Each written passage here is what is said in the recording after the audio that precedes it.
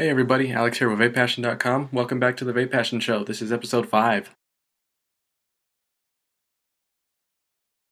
Alright, so first I just want to thank everyone for entering my KBox 200 giveaway uh, that was sponsored by DirectVapor.com. A winner has been chosen. His name is Xander. He's already claimed his prize, so the prize will be going out to him soon. For anyone who didn't win, I'm sorry, but I have another giveaway coming.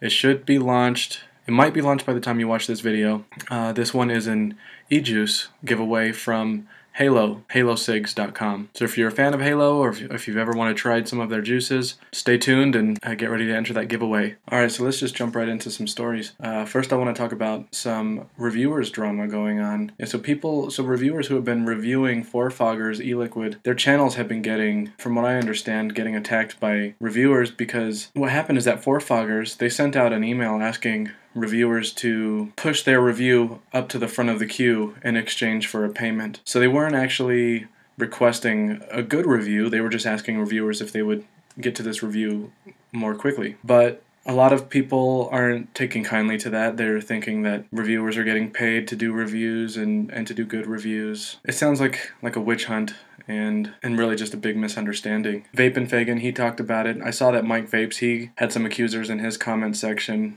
the guy was saying that he's seen the 4Foggers email which had I guess seven bullet points and and Mike Vapes he did all seven bullet points. But the thing is I've, I've read the the bullet points. I don't know if that was official email from 4Foggers it looked like it to me but even if he followed the seven bullet points it wasn't forcing him to give them a good review. They were just points they wanted him to talk about like the flavors they have what milligram of nicotine they come in that it's 70 30 VGPG how long it should take to to steep, what size bottles they come in, what the box looks like, and what the the URL is for their website. So really nothing different than any other review. They're just bullet points that they wanted to make sure the reviewers covered in their in their review. Nothing nothing that would force them to to give them a good review. So a little bit of drama going on there. And then Billy uh, from Heathen Vapes, he's being stalked by a contest winner who didn't win his prize because he didn't the the contest winner didn't respond in time. So uh, it was a vendor giveaway, and they had to choose a different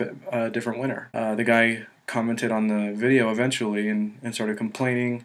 Billy was going to give him a prize anyway, but the, then the, that winner, he started, he just went nuts. Uh, so Billy changed his mind, and then this guy really went off the deep end. He started taking pictures of Billy's daughter and his wife and posting it on in places and social media and forums. I guess uh, he started commenting all over Billy's uh, videos and social profiles, saying that all of the winners are have been Billy's friends. They're not they're not legit giveaways.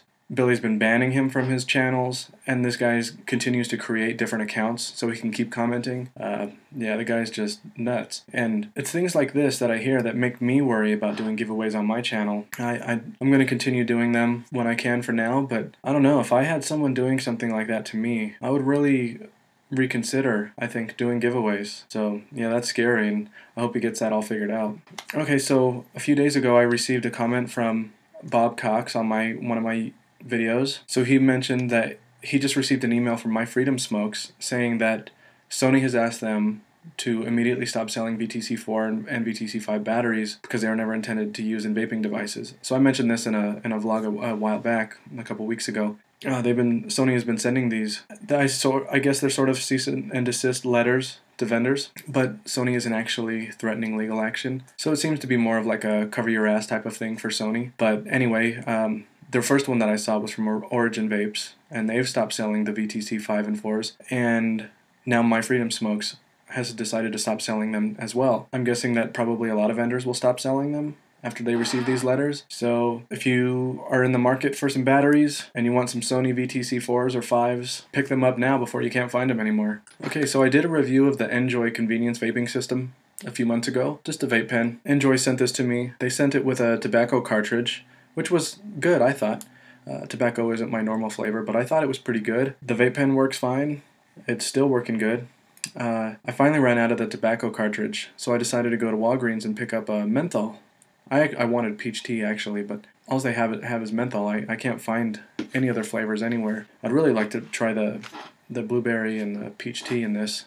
I think they might have one other flavor. I can't remember. But anyway, I picked up the menthol and I like it. It's really good. I couldn't. I think this might be the first straight menthol flavor that I've I've bought since I've started vaping, and I was really surprised at how good the menthol flavor is in this. It's really really minty. I mentioned in my video on my website, you can you can check that out on vapepassion.com, that I used to smoke menthol cigarettes. I smoked Kools before I vaped. If something like this was out back then, I would have loved it. I did get some I think it was some menthol cartridges for the, the green smoke battery when I first started vaping back in 2010. And I remember that I didn't really like any of the flavors. I don't remember exactly how well the, the menthol tasted, but I, I didn't like any of the cartridges. But it still worked for me. But anyway, this is is really good. So if you're a menthol smoker and you're trying to quit, um, I think you'll like these. And I still use this battery, not a lot because I prefer my more advanced devices, but I still use this vape pen because um, I work in downtown Denver where it's really busy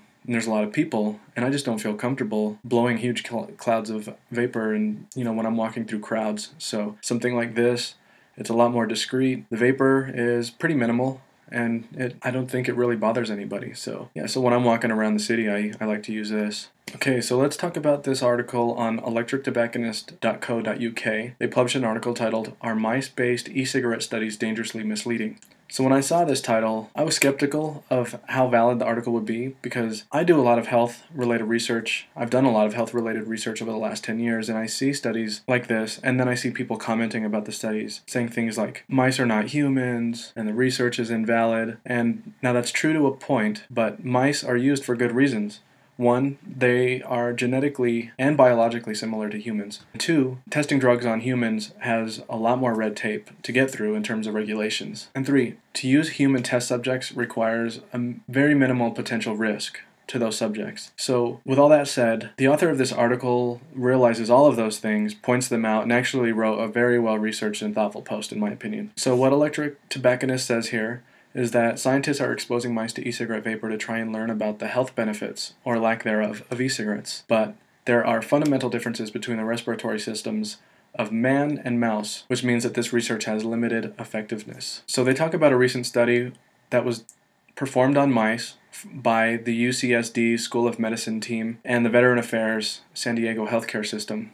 And what they did is forced mice to inhale e-cig vapor for an hour a day for four weeks. And the results of this was that there was 10% more inflammation markers in these mice than the non-vaping mice. So what the researchers should have concluded was that the study shows that e-cigarette vapor is not benign for mice because as we know from many other studies performed on mice that there are chemicals that are not benign for mice but are helpful for humans and vice versa. So Jean-Marc Cavaillon head of the cytokines and inflammation unit, he points to one particular monoclonal antibody which treats lymphoma in mice but would send a human being to intensive care. And on the other hand, paracetamol and aspirin are both helpful to humans but deadly to mice. So just some examples there of how humans and mice react differently to certain things. And then they say 95% of newly developed drugs that have looked promising after mice trials have failed to help humans. So I don't see a citation for that claim, uh, but I'll take their word for it. So while mice studies have been beneficial in some ways. Something that this article points out is that the most significant differences between mice and humans, from a medical perspective, is that they have a different respiratory system and a different inflammatory response. And when it comes to vaping, those things are extremely important. And the professor of surgery at Harvard Medical School, Ronald Tompkins, he has stated we need to recognize that simple mice model systems do not reproduce a complex human disease. So, this UCSD study really doesn't seem to be very accurate. For one, mice can't cough. So, when mice inhale vapor, they don't have the same reflexes that we have that tell us when we need to quit vaping if, if like if we're getting a dry hit so then this article uh, answers the question so why did the san diego scientists use mice as models and they go on to say that in most cases scientists use mice as a compromise we don't want to risk injuring or killing people with untested substances, so we'll risk a couple of rodent lives instead. And then they say, however, the let's use mice logic breaks down when studying e cigarettes. There are hundreds of thousands of people vaping out there already so recruiting some subjects wouldn't be a risk, wouldn't be too expensive, and it wouldn't be hard to compare these vapors to smokers. Okay, so I understand the point being made here, but it's probably easier said than done. This research was performed in San Diego, in the United States, where our government and health workers still believe vaping is dangerous. So in their minds, it still might, they still might feel like it's unethical to perform the same research on humans. It might also be more difficult to get approval on. Now I don't know that for a fact, but just playing a little bit devil's advocate here. Okay, so they go on to say that At roughly the same time that the San Diego scientists released their mice study, Dr. Konstantinos Farsalinos found that smokers who switched to vaping were able to lower their blood pressure from dangerously high to a safer level. Actually, Farsalinos released his study at the same time, but the study was performed in 2011. That doesn't mean it's invalid, just something I found and wanted to mention. And Farsalinos' study found that if you are a smoker with high blood pressure that can't give up on nicotine, you can lower your blood pressure substantially by swapping to e cigarettes. No mice, no maybes. That's the kind of knowledge that prevents heart attacks. And I agree, if we can use humans as test subjects as often as possible, we should. So, a very well written article by electrictobacconist.co.uk. Okay, so here's a big one from the WashingtonPost.com. This article is titled Vaping Isn't Smoking for Purposes of NY State Ban on Smoking in Many Public Places. So this is in regards to a recent case where Sean Thomas, he was vaping on a subway and he was charged with violating smoking restrictions under the New York State public health law. So he decided to fight the charge, and after the court went to trial, the court looked at the current law and decided that an electronic cigarette neither burns nor contains tobacco. Instead, the use of such a device, which is commonly referred to as vaping, involves the inhalation of vaporized e-cigarette liquid consisting of water, nicotine, a base of propylene glycol, and, or vegetable glycerin, and occasionally flavoring. This does not fit within the definition of smoking. And they also mentioned that laws which create crime ought to be so explicit that all men subject to their penalties may know what acts it is their duty to avoid. So, based on the current uh, smoking restriction law in New York, they're saying that the way it's written is not clear enough to cover vaping, and in, since vaping does not burn tobacco, it is not considered smoking. So, at least for now, vaping does not fall into New York's smoking restrictions. Okay, moving on. So, uh, the public awareness campaign, Not Blowing Smoke, has launched a new public awareness and educational campaign called no More Casualties. So this one is intended to provide honest, truthful, and factual information on vapor products and e-cigarettes to the mainstream public. And their message on their website says, It's time to stop making Americans, especially veterans, casualties of the war on smoking. So the No More Casualties campaign, it's very similar to Not Blowing Smoke, except that there's more of a focus on educating the public about how lobbying groups and governments demonize vaping and showing how vaping has already helped 9 million smokers quit smoking, while FDA approved nicotine replacements fail more than 90% of the time. And they and this campaign is also different in that they still have a website and everything and social media profiles, but the goal here is to break out of the internet and speak directly to the public through print and broadcast media. So yeah, go support them, follow them on social, sign up for their newsletter and uh, help where you can. Okay, so this article titled Stop Already with the Ludicrous Witch Hunt Over Vaping this was published on reddirtreport.com by Shane Smith. So he starts out by saying that he doesn't smoke and he doesn't vape, but he does know people who smokes and who vape and who have made the switch to vaping. And he says that he has seen the plight of millions of smokers who are unable to sever their ties to combustible tobacco, which is sad because they know the path that they're on, like we all did when we were smokers, or any of you who are still smokers, and we know where it leads to. Smokers just can't break free. Smokers are painfully aware of what they've gotten themselves into, which is why the ridiculous, dehumanizing, federally subsidized shaming campaigns do no good whatsoever. They just make smokers feel bad for being un- unable to quit. So, in the midst of all this shaming comes a new cool way to smoke, except that there is no smoke. So, a normal person would look at vaping and think, great, a real solution to smoking. The anti smoking crowd must be ecstatic. Well, that person would be wrong the tobacco prohib- prohibitionist, along with the public health officials, have opposed vaping at every turn. They say things like, it's just as bad as tobacco. And in a, a perverse distortion of reality, these prohibitionists behind the shaming campaigns join forces with big tobacco in their objection to vaping. And Shane Smith, he goes on to say that the, the irrational hatred of vaping by the same morons that seek to banish combustible tobacco from the face of God's creation seems to stem from more from the haunting fear that someone somewhere may be happy. They're not smoking, but they look like they're smoking and they're enjoying it. And consuming nicotine shouldn't be enjoyable in their eyes. And he points out that the same crowd who worked to get a $5 a pack tax in New York generated a massive black market in loosies, which are cigarettes sold individually and illegal. And then he ends it. Let the vaping industry breathe the free air of the free market, so more former smokers might be able to also breathe the free air again. Okay, moving on. This one is on mic.com. This is a great one titled there is only one reason vapes, hoverboards, and drones all keep exploding. So, as everyone knows, we keep seeing these stories on the news and online about vapes exploding. Well, what this article goes into is about how, while it's true that hoverboards, vapes, drones, and electric cars have all caught fire, exploded or burned down houses. The reason is really comes down to the, the lithium ion battery. And not just every lithium ion battery, but in many cases, bad lithium ion batteries, which are used in everything from laptops, iPhones, toys, small robots, flashlights. And the author points out that these gadgets that use all these things, even all these ones that we generally think of as being safe, used to blow up all the time. And actually, they, a lot of them still do. You just don't hear about them because it's old news now. As a matter of fact, I have an iPhone which has a lithium ion battery, and I don't know if you can see that, but the screen is popping out. And that's because the lithium ion battery in this is swollen. It's probably not safe for me to use, but Apple wants to charge me $250 to replace it. So anyway, he goes on to talk about how in the mid 2000s, computers and other devices were becoming smaller and slimmer, and in, the, in that time, factory fires were pretty common because of batteries. And what's especially dangerous about lithium fires is that they can't be put out with water. You'd need to smother them or let them burn out. So he says that lithium ion fuel cells can catch fire for a number of reasons, almost all of which have to do with faulty manufacturing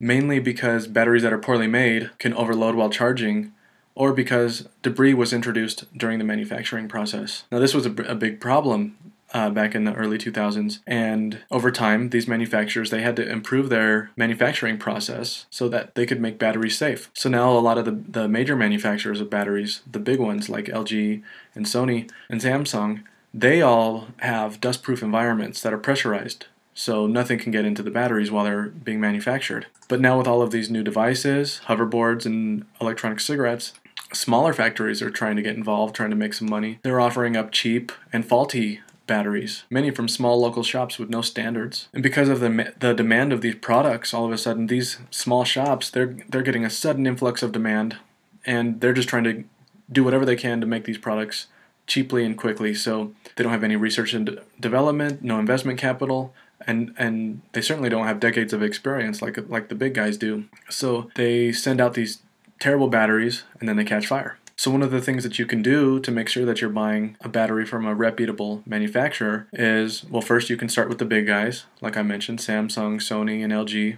And if it's an internal battery install that you can't look at, uh, inter- interrogate the brand to find out what batteries they're using. If they won't tell you, then don't buy it. Or you can go through a trusted vendor. So, one other thing to point out that this article didn't talk about in regards to electronic cigarettes is that a lot of these stories that you see on the news aren't just because of their poorly manufactured batteries, but it's because people are buying mech mods and they're putting unsafe builds on top of them, or they're using sub-ohm tanks on a mech mod or on a hybrid mod, or they're placing loose batteries in their pocket with their keys and change. Things like that. Like that's it's really stupid, but you know, someone who doesn't know anything about vaping goes into a, a local vape shop and they trust their the vendor to give them good advice on appropriate safety. A lot of these vendors, I don't think they're doing that. They're trying to make a quick buck, or maybe they are giving them this advice, but you know, someone new to vaping, it's hard for them to remember all that stuff. So, yeah, so they buy some extra batteries. Maybe they don't realize the real dangers of doing unsafe builds on your battery or shorting it out or putting them in your pocket without a cover on. And then you see the story on the news. But but if you look at everything that comes on the news, it's almost always caused by a mech mod or a loose battery. It's almost never regulated devices. So the media, they're really just spinning these stories to to show vaping in a bad light. Anyway, moving on. Okay, so I saw this one on Reddit uh, maybe a week or two ago. I decided to save it and then check back in on it in a little bit, and I did uh, this morning. And I see that they've updated their page. So this is called the Pendant P3. It's pretty much a necklace that you wear around your neck that has a tank sitting on your chest and the battery is on the neck band behind your neck. So a lot of people on Reddit they were leaving comments like extremely dangerous. Why would you use an 18650 battery like that wrapped around your neck? Um, it's gonna explode. You're gonna have sweat leaking into the contacts, things like that. So the makers of the P3 they saw all of the comments and decided to publish a video on YouTube to talk about the safety of the P3. So they show them putting the P3 through some extreme conditions and how the fuse will will fail before anything happens to the battery. So once the fuse fails, there's no more power going to the battery. So they they claim that it's it's fairly safe. So they say that it has a completely serviceable chassis and that it's not intended for use with a coil build below 0.2 ohms, which will, and and by their claims, blow the fuse. So from what I can tell from it, It looks to be like a sort of like an unregulated device, but that has a fuse in it. I think it's actually kind of a cool device, but I just still don't know if I would use it because I would want something that has a chip in it. I want something that is regulated. If I'm going to have a battery wrapped around my neck, and it's it's even an exposed battery from what I can tell, um, I would prefer to have. Well, first, I think they should totally cover the battery, and then they should include a chip with a lot more safety features. But I think it's it's actually kind of cool. So you can use your existing 18650, can use any atomizer of your choice. It goes to a max 40 watts and it has been torture tested by dropping, submerging in salt water, and intentionally shorted. And it comes in a bunch of colors and it's $60. I think that's a little too much, but okay, so here's another one from Reddit. This one is a public service announcement. TFA and ethyl maltol. So Reddit user Vapeolo published this post saying that he was just browsing through some of the specs and components out of curiosity of TFA's flavors to see how many of them contained ethyl maltol and was completely surprised by how many there were. So there, there are obvious ones like strawberry ripe and Bavarian, I guess obvious to the DIY community, not to me. But since so many of TFA's flavors have, have ethyl maltol, he wants to he just wanted people to know that you should resist the urge to add it to any of your flavors because or any other sweeteners because a lot of these flavors already have it in there. So if you're using a TFA flavor, or really any flavor, look into it and see if there are already sweeteners, because if there are, you might not even need to use any. And something he points out here at the end is that using too much ethyl maltol or, or other sweeteners can actually mute the flavor at too high of a percentage. So something to be aware of if you're a DIY mixer or thinking about getting into it. Okay, and a quick one from Mooch. So he published some results of the IMREN Purple 22 amp 5500 milliamp hour battery, which is a 26650 battery. Um, the bottom line, he says it's only rated as a 10 amp 5200 milliamp hour battery, and he does not recommend running it at above 10 amps or 35 watts due to the huge voltage sag at higher current power levels. So if you have a 26650 mod, don't use the IMREN Purple 22 amp at higher than 10 amps or 35 watts. Okay, so this post on Reddit is in regards to Flavorah peanut butter flavor. This user, he had a friend who's recently asked him if it's okay to vape a peanut butter juice that he made if they have a peanut butter allergy. allergy. So he reached out to Flavorah asking them that, and Flavorah responded saying that their peanut butter flavor very does very much contain real peanuts and should not be consumed by anyone with a peanut allergy. So uh, a discussion started in the in the comments. Uh, people saying things like peanut aller- allergies are caused by proteins, and proteins are pretty hard to get in aerosol form. Um, and if you had proteins on your coil, they would be very apparent. So you can do what's right for you and your level of comfort, but it doesn't look like anyone's in danger of triggering a peanut allergy from vaping. So no one has chimed in on providing any kind of proof that a peanut butter flavor could cause an allergic reaction, and I would imagine that anyone with a real peanut allergy would not be willing to test it out. So, whether or not you can trigger your allergy from uh, vaping a peanut butter e juice, I would say use caution. Okay, so this is a big study that just came out. They tested, this was published on ScienceDirect.com. The name of the study is The Effect of Variable Power Levels on the Yield of Total Aerosol Mass and Formation of Aldehydes. So, this research team, they tested five variable, variable power e cigarette devices at four different power levels each, and they were analyzed for the production of formaldehyde, acetaldehyde, and acrolein. So all of these aldehydes, they are already known to form during the heating of mixtures of glycerol and propylene glycol. And formaldehyde is already is classified as a human carcinogen. Acetaldehyde is classified as possibly carcinogenic, and acrolein causes irritation of the nasal cavity and damages the lining of the lung. So the purpose of this study was to find out how much of these aldehydes are being produced by various devices. So all of the devices they tested were commercial products. Device 1 was a CE4 top coil tank style, the Vision tank. Device number 2 was a Pro Tank 1 from Kangertech. Device 3 was a Gladius from Innokin. Device 4 was a Nautilus tank from Aspire. And Device 5 was a sub tank from Kangertech. So in all of these tanks, they did a puff every 30 seconds with 4 seconds of duration using an analytical smoking machine. They put devices 1 through 4 on an Innokin iTaste VV4 battery, and device number 5 was used on a DNA 40. So what they found was that for device 1, formaldehyde yields exceeded both the the yield of combustible cigarettes at 20 cigarettes per day, and the OSHA limit even at the lowest power level. And at the maximum power level produced formaldehyde almost 10 times the OSHA workplace exposure limit. It also exceeded the acrolein yield from 20 combustible cigarettes per day and the OSHA workplace exposure limit, but only at the highest power level they tested. Device number two, the ProTank 1, also exceeded the formaldehyde yield from combustible cigarettes, but only at the highest power level tested, which was 9 watts. Um, oh, by the way, the highest level tested for the CE4 was also 9.2 watts. And all three of the other devices, the Gladius, the Nautilus, and the Subtank from Kanger, all produced aldehydes below both combustible cigarettes and the OSHA workplace exposure limit. And one device in particular, the, the Subtank from Kanger, produced less than 1% of the aldehydes delivered from 20 cigarettes and the OSHA workplace exposure limit. So, according to this study, sub tanks look to be the way to go. Okay, in the last story here, Vape Juice, vape at vapejuice.com, they are accepting $4 donations, um, all of which the proceeds will go to purchasing as much water as possible for the Flint, Michigan water disaster. Um, they are donating directly to the American Red Cross. And on the day they published this article, on, uh, let's see, February 26th, they had already received over 8,000 bottles of water in just three days. And so what they're doing here is that if you donate just one case, they'll send you a free 30 ml bottle in store or online. So it's a really great cause, and it's really cool to see a, a company doing something like this for those those poor people in Flint, Michigan. Okay, so that's it for this week. Uh, thanks for watching. I appreciate any comments and shares of this video. Um, you can follow me on Twitter at twitter.com slash vapepassion. Um, I'm also on Facebook, a bunch of other social networks. You can find them all on my website. Go to vapepassion.com. I'll also post all the show notes and all the links to everything I talked about here on my website. So, uh, yeah, thanks for watching, and I'll see you guys all next week.